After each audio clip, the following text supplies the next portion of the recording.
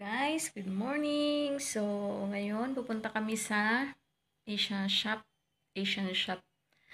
Ngayon, so, from dito, sa bahay siguro 30 minutes, papunta doon by car. So, yeah. Ganito ang lola nyo. Naka-skirt. Ano kasi yung weather ngayon? Ah, siguro na abot ng 21 degrees. So, mainit na. So, samahan nyo ako guys. Mamaya. Bye-bye. Initan ko yung tuyo.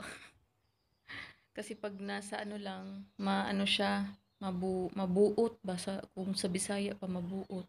Magmuog, mag ano siya, mag... ah, parang nag-snow din guys. O, nakikita nyo ba guys? Kita ba? Yung, ayun o, yung sa flower ba na natatanggal siya. Nagsiliparan. Yan. Din yung dilis. Kasi mainit. So, yan. Dito rin to, oh. Nagsiliparan yung maliliit yung ano, parang flower ata yan ng ano. Ang dami, oh. Nagsiliparan. Mainit na dito ngayon. Siguro temperature 21 degrees. Mainit na. Yan, kasi ako lang mag-isa kumakain itong tuyo. So, yan. Pinapainitan ko muna. Nakainis talaga no, yung magpakuha ka ng picture. Tapos, ang ganda-ganda ng panahon. Tapos, yung kuha sa cellphone mo, yung pagkuha ng picture is hindi kasama yung paa mo. Half lang. Diyos ko, ang pangit-pangit, Diyos ko. Hindi man lang isama yung buong, ano, katawan. Kakaloka. Hello, guys. Ito mag mag ano tayo, grocery haul. To nabili naming saba, saging saba.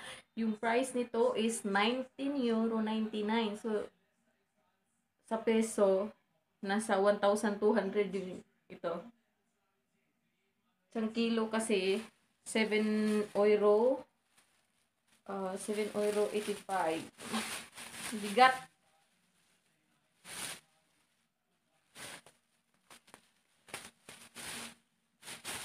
May dalawang kilo.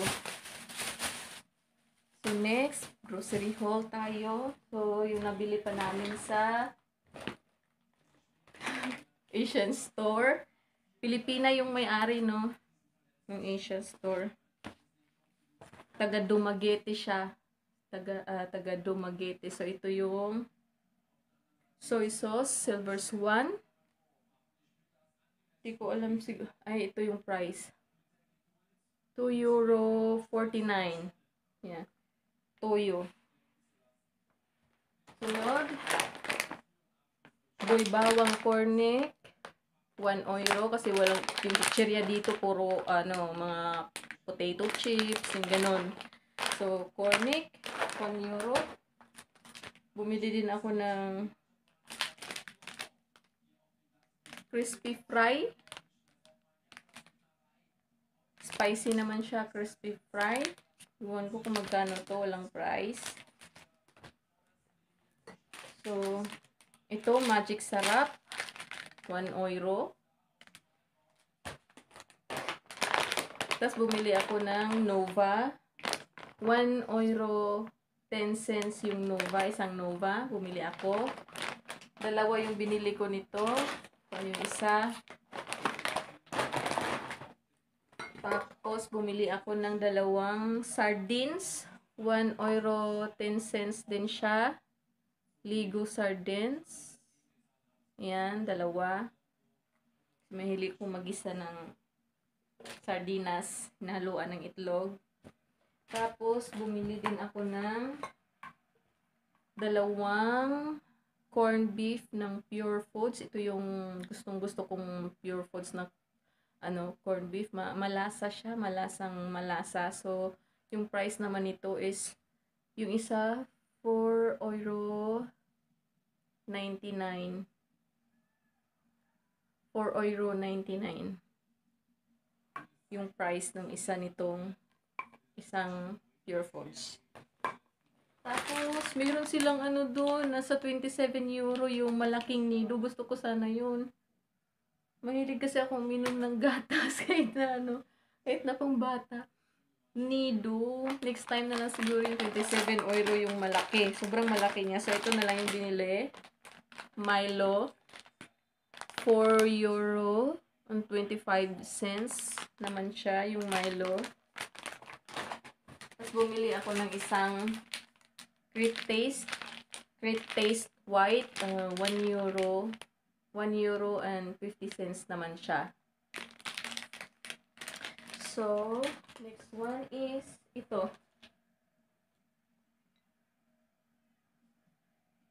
So, ito guys, at dahil na-miss ni, ano, yung, ni Mr. yung Red Horse, ito bumili din ng Red Horse. Yung price niya is 2 euro 99, so nasa less than 200. 180 pesos yung isa nito. Dalawa na lang yung natira, pero isa lang yung kinuha niya. Yan o. Red Horse Beer. So, yun. Yun lang po lahat yung nabili natin. Na, ano, kapag mismo talaga yung pagkain na kagisnan mo na, talagang kahit malayo, pupuntahan mo pa, talagang dadayo ka para lang bumili no pagkain na mimiss mong kainin. So, yun, nakabili tayo ng saging, red horse, corned beef, Milo, uh, kape. Meron din sila doon, ano, meron din silang sabon na, ano, in, enlighten. Enlighten na sabon, yung, meron din silang pang facial wash, meron silang cream set, meron dong maxi peel, merong, ano pa yung mga, ano doon, tas meron din silang, parang may nakita akong kamote, saging, kaso yung, ano din, yung, mangga, naubusan na sila ng mangga. So, yung mangga naman, yung kilo ng mangga is nasa 12 euro yung per kilo nila. So, ilang piraso lang yung isang kilo. So, naubusan na. So, ngayong Wednesday pa daw darating yung uh, stock ng mangga. So, pupunta na naman tayo doon para bumili ng mangga next time. Tapos, meron silang, yun nga, chicheria, nova, uh, merong cheese it, merong tuyo, merong um, sukang yun yung pinakurat. Yun. Pinakurat. Meron din silang bagoong. Meron din silang yung glutinous rice na, naka, na powder na siya.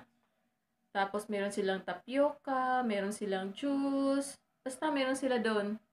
Hindi ko lang, hindi lang ako nag-video doon sa loob ng Asian store. So malapit sila sa mines lang, malapit lang sila sa mines. So parang ano sila ng tago So, kailangan kaya, kaya napopost yung may-ari sa Facebook para doon doon nagbi-message yung mga Pilipinas para magtanong kung anong meron at saka sa saka sila pupunta doon. So doon first time kong pumunta doon sa Asian store sa store niya. So yun. Ni-refer lang din ng kakilala ko. So ayun, that's all for today guys. Bye-bye. Thank you for watching. Don't forget to like and subscribe to my channel. Bye-bye. Música